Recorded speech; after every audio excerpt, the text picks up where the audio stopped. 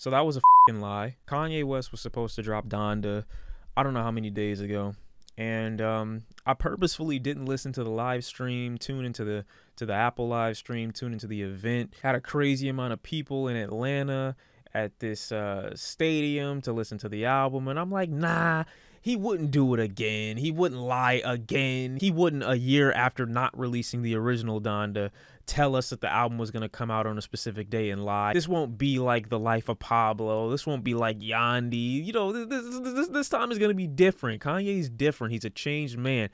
It was a lie. Outside of my interpretations for what I thought Donda was going to be about ultimately, that video I just recently made aged like that J. Cole album that came out this year. I'm just playing. Calm down. It was a prank. In all seriousness, I don't know why I allow myself to get this excited for Kanye releases anymore. I try to be optimistic. I try to be hopeful. Try not to be a hater about it, but he makes it so easy every single time. I missed out on so much music, okay? I missed out on so much of the record. I purposefully chose not to tune in because I just knew that he was going to drop it when they said he was gonna drop. I mean, it, the date was on the commercial.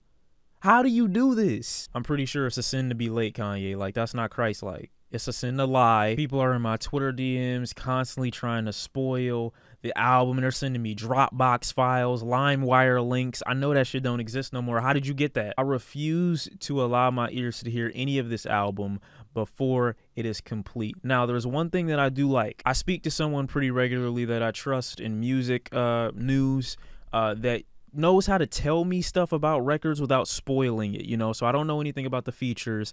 I don't know anything about uh, how many songs there are, how long the record is. But someone did tell me that the album did not sound finished. And if the album didn't sound finished, then I'm glad we have an additional couple weeks for Kanye to finish it out.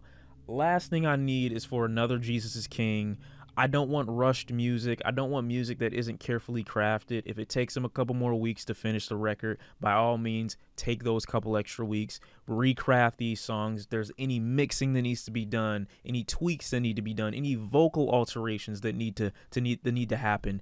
Do those things so this album can be the best that it possibly can be. Add verses, take away verses, add features, take away features. I don't care. Whatever makes the music better take the extra time to do so. Now, come two weeks, if there are still mixing issues on this record, I don't know what the fuck Kanye be doing at the house. Mike Dean looked like he was on his deathbed mixing whatever tracks that he was trying to mix. I saw memes going around like, no, this nigga is struggling, my guy. But yeah, at the end of the day, the gist of what this person was telling me was that these songs sounded good, but they sounded kind of like outlines, kind of like rough drafts. So couple more weeks hopefully should give him enough time to fully flesh him out. Everything's already done, just tweaks and minor alterations, and we should be good to go. I just want to hear it. And in other news, DaBaby is uh, making a fool of himself once again. He goes on uh, what has been uh, explained to me as a homophobic rant, and uh, let's let's hear what he says. Fellas, if you ain't sucking nigga dick in the parking lot, put your cell phone nice Let's be real. Let's not pay attention to the fact that DaBaby told fellas to put their cell phone in the air if they weren't sucking dick in the parking lot. Pay no attention to the fact that DaBaby is the one who didn't raise his cell phone. Notice that this man did not have his hands up. I just don't know where this came from. And then the immediate cosign from the DJ. Some of y'all niggas suspect as a motherfucker. Let's be real. Nigga, what do y'all be talking about? like, I don't understand. Nine times out of ten, you got bad bitches in the crowd. You think about dick and mouth. Why? DaBaby been on weird energy for a minute now anyway though. I mean, he had Tory Lanez basically dressed up as a furry. I don't know what they was doing backstage. I don't know what happened prior to this that that meat slurping was even on DaBaby's mind. Ladies, put your cell phone lighter in the air if your if your pussy smell like water. What? What? Was DaBaby not literally riding in a in a literal pool of semen in a music video. Side note, I'm looking out my window right now and I'm looking at this middle-aged white woman literally pick grass from in between the sidewalk. Like she seems super anal. It is really bothering me right now that she's doing this. And then she walked on the grass. How whatever. I just genuinely don't know what provoked this this this this line. Out of all the things for a supposed straight man to just come out and say while he's performing in front of at least 12 to 15% bad bitches in the crowd. And say something targeted specifically just to the men in the audience. If you ain't sucking why do you care about this? Like, if I ever become a rapper and I'm performing, I'm I'm 150% gonna ask people the real the real questions. You know, put your cell phone in the air if you if you watch the most recent episode of Attack on Titan. You know what I'm saying? Put your cell phone in the air if you eat the pizza without the pineapples. Fellas, put your cell phone in the air if instead of using a towel, you let her rub it into her skin like it's lotion. The only thing that I thought was weird was like did he expect this to, to, to get the crowd hype? It's funny, not because it's offensive, but it's funny because it makes no sense. But just like anything else, there is unintentional humor that can be found in any situation. DaBaby really got me wanting to introduce myself with the strangest of questions. Like, imagine trying to get hired for a job and the interviewer asks you, So, what's your mom's pussy feel like, bro? You like, wait, what? What do you, what? You was in there, wasn't you? You was in there for nine months and you don't know what it feel like? That's crazy. Get out my office, bro. Get out my office.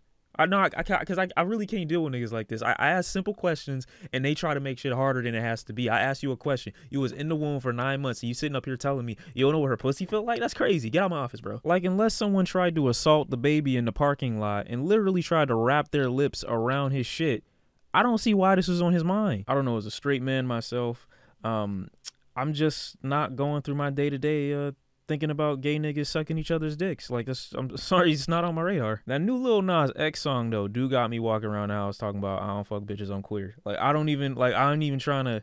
Like, it's crazy. Like that song catchy as fuck. I just slipped up a couple times. Wait, wait. I'm gonna, cut this out. Wait, did he actually say if you don't have HIV? Hold up. Even though it would have been weird, I could have understood if he would have said if you ain't got corona. And you know, T.I. had to come out expeditiously with a cosign of this dumb shit. And so the awkwardness and the weirdness would have stopped there, but DaBaby comes out afterwards and makes uh, another four or five minute explanation video talking about what he meant saying that you know oh since i saw a dude in a crop top in the front row uh, I'm, I'm good. I guess he tries to make it look like he wasn't alienating his potential you know uh, gay audience which i don't think is that big of a chunk of his audience anyway. But by saying if you didn't suck a nigga's dick in the parking lot, is that not literally just alienating every fan that listens to you that happens to be gay and connecting this clearly in your perspective negative thing to that demographic? So let me get this straight.